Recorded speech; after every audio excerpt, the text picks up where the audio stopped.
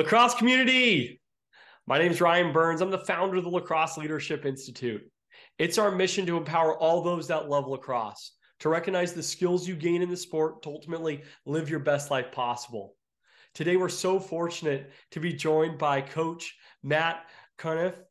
Ultimately, Matt's had just an amazing journey through lacrosse, growing up on the East Coast, being able to play at the highest level, Division One, and then bringing himself out west and making a huge impact in Long Beach right now. Matt, before I give away too much of your story, can you share with those in our community that aren't quite aware of your short story? How'd you get into lacrosse in the first place? Well, Ryan, I really appreciate you guys having me on um, and taking time out. I last week we tried to set up a time, but we were in the middle of trials at Los Al, so uh, I would have been on the field, but that's kind of my office. Uh, my journey of lacrosse is kind of weird. Um, I grew up right outside of Boston, and uh, it's kind of the mo of every kid in Boston that we grew up playing everything, from baseball to soccer to football um, to even basketball and stuff like that. So um, I, I, played everything um, growing up, and I was on skates at age three. And you'll see throughout this whole uh, interview as I'll bring up hockey, and I played hockey from age three to eighteen, and um, that hockey's my first love, but lacrosse is truly my passion. And um, you know, passion really fuels it everything you do in life. But I picked up a stick at age 13. And uh, shout out to my math teacher in seventh grade, Mr. Pace. Uh, he played lacrosse at uh, Michigan State University. And um, my baseball, I, I, I should preface baseball, lack thereof, career was ending. And um, everyone was getting better at soccer and quicker. And apparently in baseball, I like to play catcher. You're not supposed to run down the third baseline and tackle the runner. So I found out that quickly. Um, so at age 13, uh, Mr. Pace was running uh, kind of a PE type lacrosse course. And uh, the sporting goods, goods store uh, had a sale on brand shotgun sticks. And my mother ended up going after school and buying and surprising me with this brand shotgun the thing was I still have it, I think, back in Boston. But um it started there at 13. And um it, it really culminated because especially in my town, lacrosse wasn't really predominant. The kids were going to the more um well-known communities like Concord and Lincoln Sudbury and Acton Boxborough and all these teams a little bit west of Boston. And my town didn't get it until I was 13. I remember that summer um, all the kids I grew up with in the neighborhood that I we played, you know, every pickup game with, I played hockey with, a baseball with. Um, we ended up picking lacrosse, and I remember it was kind of like this mishmash in the open back of Pollard Middle School back in Needham, Mass. And we are all wearing hockey helmets and hockey shoulder pads and glove and elbow pads, but we are all out there. And one big thing that stuck with me is that there was a lot of college kids from the high school who picked up a stick in high school that were playing at these small D3 schools, what they were teaching us how to play. And um, from uh, 13 was really when everyone started in my town, that seventh grade team. We had enough boys and girls actually to make kind of a rec league team. And then actually, my 13 year old team, there's a picture on my Instagram. My seventh grade team, it seemed all of us either continued sports in college, rather be football, um, basketball, baseball, even lacrosse. And it was just kind of this, we were the bad news bears of lacrosse, but it, you know, it kind of ignited that passion. And um, my journey was in eighth grade, just continued it. And, you know, I never had the chance to play short stick. I was handed a long pole because again, hockey, I played defense. And um, it's kind of funny is my mother went to UMass Amherst and it was a requirement that she took PE and one of her favorite courses of PE was lacrosse. So she kind of told me how to catch and throw and what the concept was. But in reality, I think she handed me a stick and said, "Go hit someone with it." And I said, "Sign me up right now, mom." Um, and uh, it it wasn't you know everyone on the East Coast thinks that lacrosse is in your blood, but no, my parents didn't grow up playing organized sports or anything like that, but they knew how to play everything. And I, again, it's going back, hopping back on being from the Boston area. And um, I think after eighth grade, you know, um, I went to a high school called Catholic Memorial High School. It's in West Roxbury, Massachusetts. And it's really known as a hockey school and always has. And it was producing D1 hockey, kids going to BU, BC, everywhere, and then even the basketball teams were great, and they were state champions, national champions, etc. And then the year before I went, ninth grade, so this is around age 15, um, they started a lacrosse program. So they had one team, just varsity, no JV, anything. And every kid either picked it up or, you know, got cut from their respective sport and came and played. And freshman year, you know, I was one of very few kids who played lacrosse prior to coming to high school. And it was really awesome because as a freshman, you know, my, my saying the best thing about freshmen is become sophomores. Um, but you know, as a freshman, it, it, was nice to not be a step ahead, but have the concept of the game. And um, I think one big thing about being thrown in the fire it was great is that our conference, what my high school was in, is called Catholic Conference. So it's all the main all boys Catholic schools, and it's kind of murder's row. It's the best of the best kids. It's all these teams stacked, and all of a sudden we're the new lacrosse team, and, and we're the you know the homecoming game for everyone. But we're starting to make a little bit of noise. And freshman year, I remember we played a team called Austin Prep, and a senior something. I think he skipped practice or something, and our coach looked at me and goes, "Hey, Matt, you ready to go?" And I'm like, "Wait, what? This is the first game of the season. I don't know what's going on. I barely have a left hand, but I'm ready." And from there, um, you know, that's that's how my lacrosse career basically started. Um, being the smallest guy on the field, but I loved it. And then through high school, I had a big chance of playing four years at CM, and uh, it, it, was Coach Garrity was a big influence in my life and still is. And uh, you know, two year captain, and actually played with uh, LV Whitworth. Uh, he ended up being a running back at Boston College, and our team again was just a mishmash of kids that went out there and played. And um, you, you know, my big thing with the game of lacrosse is just leave it a little bit better than when you left it. And after I graduated from CM, um, I really didn't get a lot of offers out of school, nor did I actually, I'm not gonna lie to you, I, I didn't really foresee myself playing lacrosse in college. Um, I was still playing hockey at CM, and uh, my my grandiose dreams of going Division One, playing at Boston College, and entering the NHL draft got quickly shut down when I stopped growing my sophomore year, and um, I ended up trying to go play junior hockey, which is kind of the toughest route you can take, but I don't want. So uh, Ryan, it, it, ended up me. I think it was summer of my junior year. Um, I played in something called the Bay State Games. New York has the Empire State Games. Massachusetts has the Bay State, and uh, you take kids from all the region of your high school. And that's what I like. It's not where you grow up; it's your high school, so you know the players. You're playing with your rivals. You're playing with everything, and saw uh, of my junior year, um, the NCAA rules were different, but schools could start talking to you. And I remember my coach was actually the head coach at Assumption College, and uh, he said that you know, hey, you know, you have a good chance of playing in college. I actually never really thought about that, nor was that a big driving force for continuing, you know, my education. Um, I always wanted to go to good school and experience college and have fun, like the movies, and, and get a degree while I'm at it. But um, so at the summer of my junior year, then for some odd reason, I don't know if it's the lacrosse universe or something, just offers started flying in.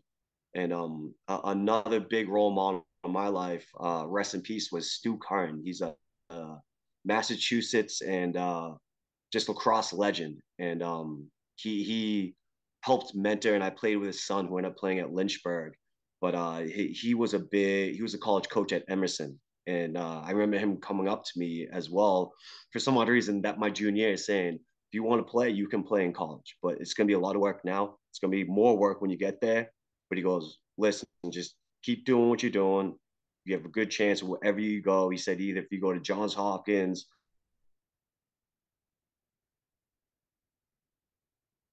junior year was when I actually started, when I put hockey to the side almost. And um, ended up just really taking lacrosse serious. And uh, I ended up going to a few camps uh, that year too. And junior year uh, was a great year. And then um, my senior year, going into that, I, I, really started focusing. Okay, you know, this school has great academics, but there is a chance I could play. And the few schools that offered and the few schools that I recruit was recruited by and looked at, um, really actually all my college radar, anyways. And I really didn't think, you know, being the Bostonian I am, I was going to leave that like six mile radius of the city. But um, unfortunately, my senior year, four games in, I got hurt. I had a, a serious hip injury, and um, I, I, was really bummed. But I, I think that was one of the best life lessons I could have had four years and uh end up not being able to play the rest of the season and but I was I think that was the start of my coaching career. Uh back then I just didn't know it. Um but that summer I worked my butt off and uh got back and uh I just said, hey, listen, if it's gonna happen, it's gonna happen. I'm playing college.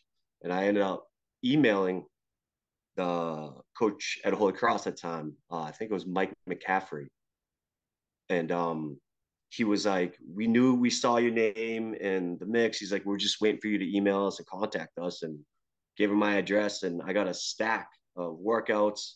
There were still VHS VHS tapes back then, and that's you know we didn't have all this fancy internet stuff. So sent a VHS VHS tape of my highlights, and also he sent one of the workouts. And that summer I worked hard, um, and ended up in the fall of September uh, that fall, I just made the team. Basically, I got a walk on, made the team in fall ball, and uh, I remember emailing my parents because uh, I think they were on the cruise in like Bermuda somewhere, saying, "Hey, mom, dad, um, I made the team," and they didn't respond. So I'm like, "Oh shoot, they they don't care," which you know we, we know that they're wrong, but um, you know, I was so lucky and grateful to be able to play four years at Holy Cross and be the first Division One play out of my high school and really paved the way. And um, as I said, at Holy Cross was a great experience. Um, I was again thrown in the fire.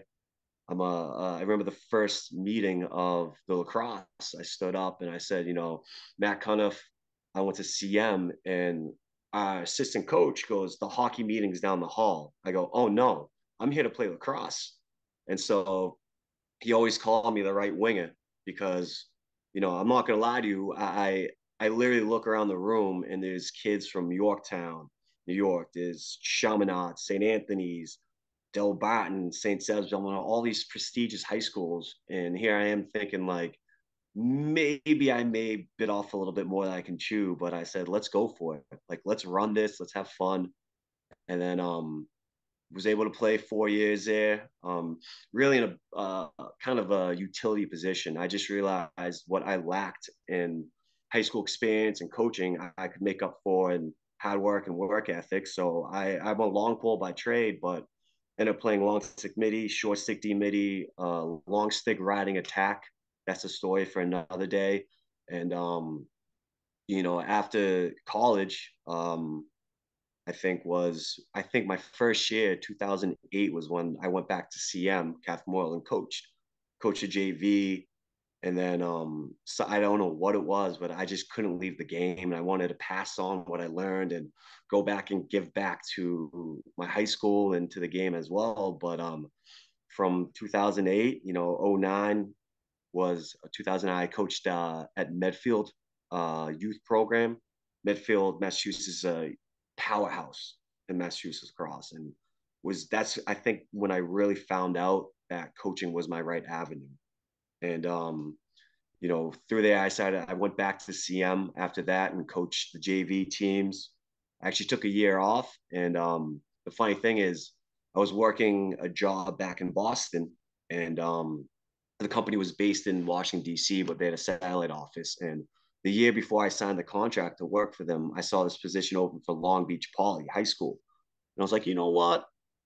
I was going to apply, but all of a sudden the job offer came in. So I'm like, you know what? I'll stay home for another one. And then again, the lacrosse universe spoke or whatever. The, um, the office, Boston office, was moving to DC. And you could either move to DC or take your severance and, you know, go about your life. And I literally just remember saying, I'm taking that severance, packed my car up, drove across country, stat, and then I uh, didn't even know if I was going to get paid at Long Beach Poly, but said, "Hey, I'm coming. I want to be the assistant coach. What can I do to help?" And that's how I ended up out here in California in a beautiful beachside city. And then um, you know, uh, to kind of speed up the current day, I, I was able to coach uh, three, no, two seasons at uh, Long Beach Poly. I was a head coach for assistant coach and head coach for one year, and then moved over to Los Alamitos, where I'm currently at, and I'm going into my fourth season, third season as a head coach there. And I had uh, the great opportunity to also coach Cal State Long Beach's men's club team as well. And right now, uh, besides Los Al, I also run uh, Beach Cities Youth Lacrosse. I know you talked with John Gabriel. Uh, John's my boy. John's my road dog, and uh, him and I run Beach Cities Youth Lacrosse, which is based in Long Beach, but anywhere from Long Beach all the way to Huntington. We we just start the game at the youngest level and try to build from there, Ryan. Oh my gosh. Matt, it's just so much in that. You've been involved I know. for so much, and I absolutely love it. But the things that really stick out to me is just tenacity, like the grit that you've talked about from just early on in the sport, just being someone who's just hyperactive, can't be on the baseball field. You got to go out and tackle people too.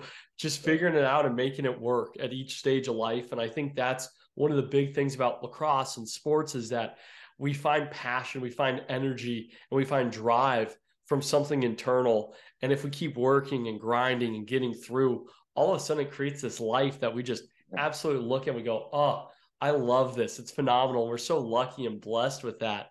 Uh, I know you've had just a ton of experiences. Do you have a pinnacle moment or a, maybe one or two moments that really stick out to you as a highlight for your playing and coaching career or lacrosse as a whole?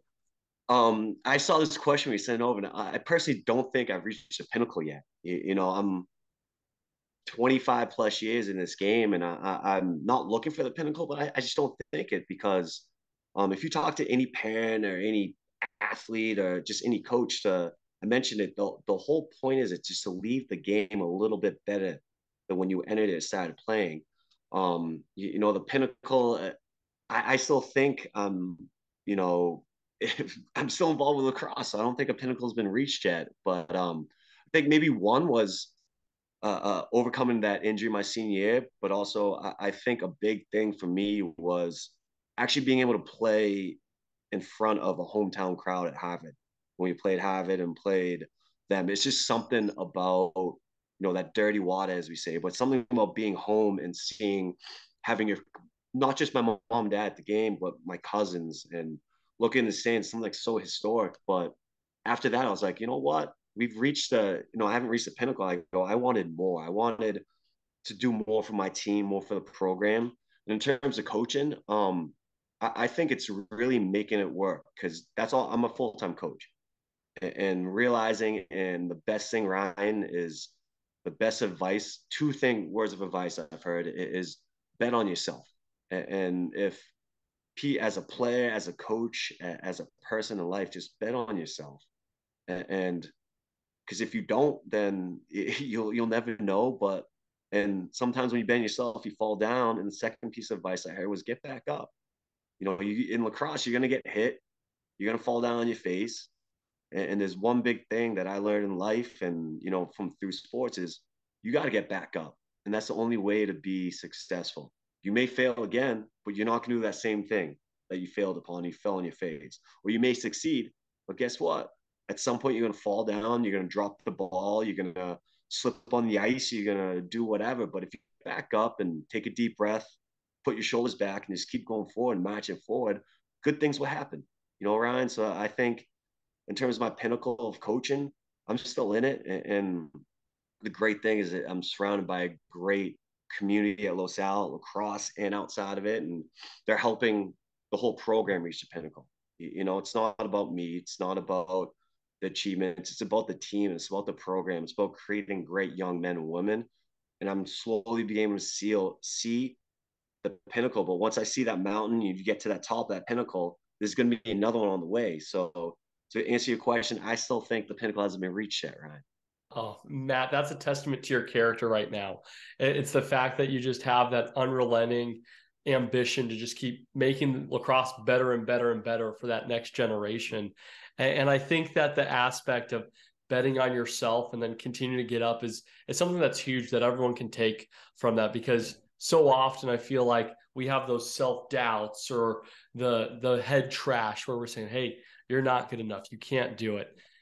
and then you just have to shake it. You got to go, no, that's not right. That's not right. I can do this. I got this. And then you step up and you rise to the occasion. And ultimately, you accomplish something that you never thought was possible. Yeah. For, for, for you, Matt, is there something in particular that sticks out as your biggest bet on yourself? And what was the payoff of that? I, I've always been the kind of person that refuses not to be the hardest worker in the room. And I think it, it's in college. I think betting on myself because that I had no reason to be in the room as some of these players, and I had no. My skill level was so minuscule compared to them. Some of these kids are from Garden City, Long Island, born with a lacrosse stick in their hand, and here I am, a kid, you know, Massachusetts, masshole Bostonian kid that I didn't even. I'm not gonna lie to you, Ryan in my freshman year of college, I didn't know what a two slide was. I didn't know what a two slide, and the bet on myself was, I, I'm, I think I was the smallest defenseman in Division One, and I'm five. I was five foot nine, 165 pounds out of college, and I just remember the first time I got hit by one of our defensemen, and I just remember saying, you know what, this isn't good. This game's quicker. They're bigger. So what can I do? So the bet on myself was kind of like you know what? You got to hit the gym. You got to hit wall the wall. You got to get faster. You got to get smarter. Most importantly, is a you know a big mo besides working hard for me is not being a good teammate, being a great teammate. So learning from my teammates, asking questions from the kids who only lost one game in high school, or asking questions, you know, to the point where I was annoying, you know. And in terms of coaching, betting on myself is you know, doll in a dream type stuff. I, I moved out here and, and Ryan coaching, I I still boggles my mind. I've been out here six years that I get paid to coach. And it still boggles my mind that I'm doing something that I literally would do for free and I have done for free. And, and it, it boggles my mind that I've actually bet on myself because I'm the only one out here for my family, really. So I'm out here and if I I'm gonna do it, I'm gonna do it on my own. If I'm gonna fail, I'm gonna fail on my own. But at the end of the day, I'm doing some my passion, as I said. It's not my love, it's my passion on lacrosse. And just seeing how the game has grown and telling and teaching the next generation to bet on yourself too, and bet on your teammates and trust that the process, as we say. But most importantly, is I, I think one bet on myself is I remember telling myself one time I was going through a lot of stuff in my life and just thinking, you know what? Today's a bad day. Tomorrow might be better, but guess what? The best thing you have tomorrow is you get to go on the field. You get to coach. You get to throw a ball around and forget about what else is going on. So, what do you have to cry about? Just get back up, bet on yourself, take a deep breath, and guess what? Tomorrow might be the best day of your life. So, let's go and that's the mentality that I think we always need is hey we may be down today but tomorrow's a new day. Step up rise to the occasion. And, and, I think it takes some time to develop that mantra and probably a lot of experience as well. Asking people and, and learning. And one of the things I love to ask everyone Matt is what leadership means to you especially as someone who's just brought in so many great experiences from the past. He's already talked about your coach, I think Garrity. I'd love to hear the impact he had on you as well. Um, I think it's a lot of different coaches, and I, think it's funny. We we talk about leadership, we talk about coaching, and um, we can't. You can read a book on leadership and coaching and all this stuff, but it, you can't really. It, it can't be tangibly taught. You have to learn through experiences. And your coaches, my coaches, your parents, your role models, it's all their life experiences.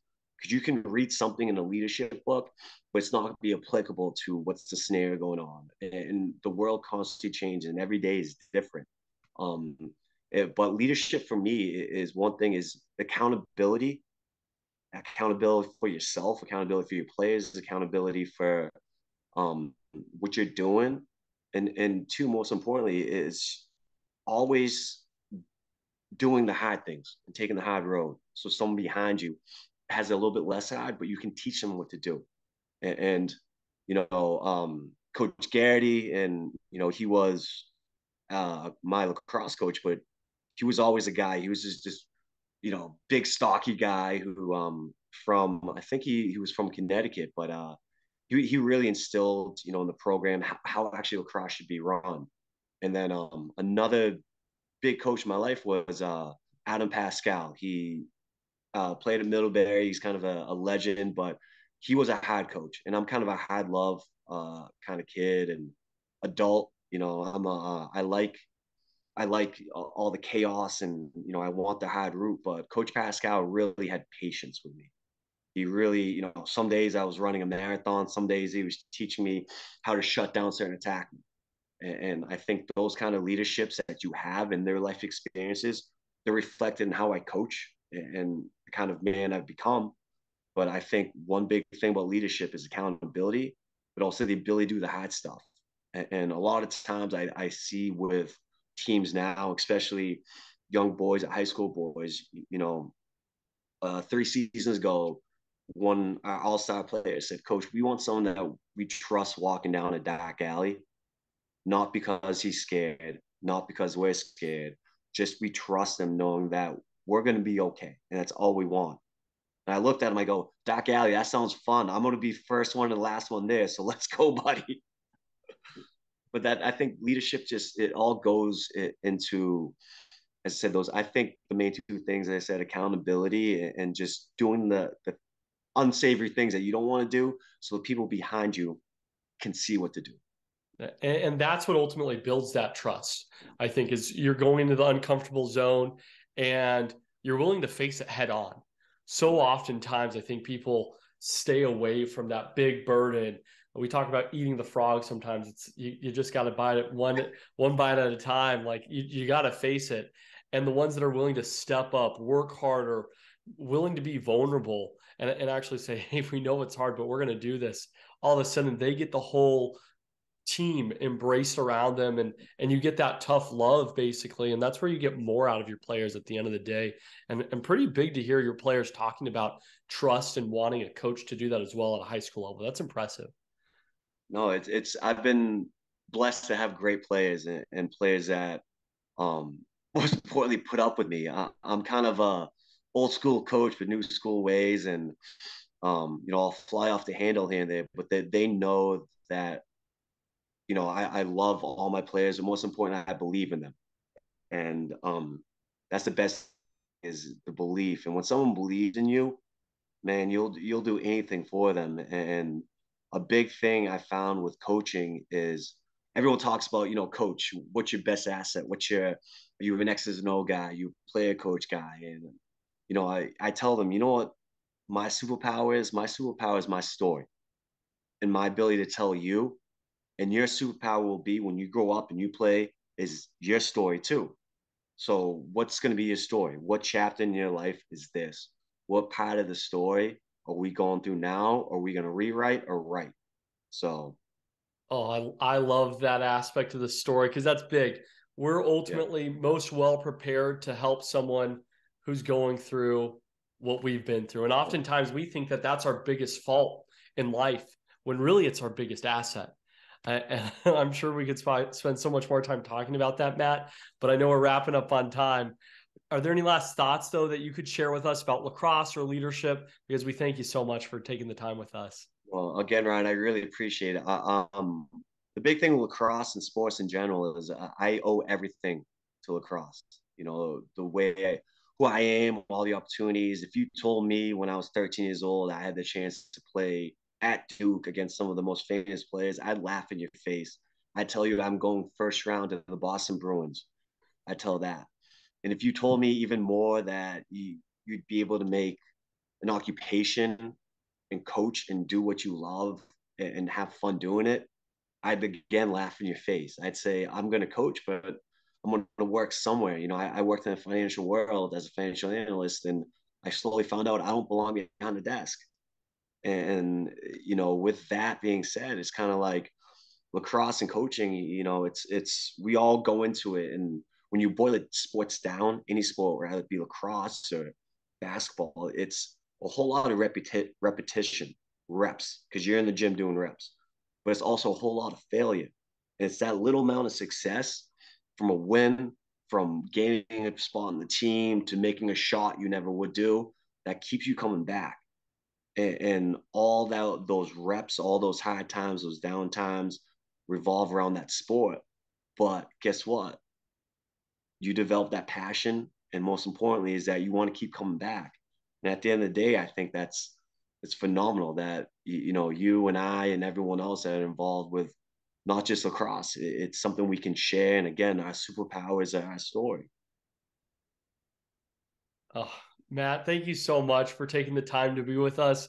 Your story's phenomenal. Your passion's unbelievable. And we know how relentless you are in this pursuit of making lacrosse better. We're going to be cheering you on each season moving forward and looking forward to maintaining this relationship as well. Again, Ryan, appreciate it. And uh, hey, anything I can do to help, let me know. But go low Sal. Go low Let's Sal. Go. Let's go. See you, Matt. Appreciate you. Bye. Appreciate you, man.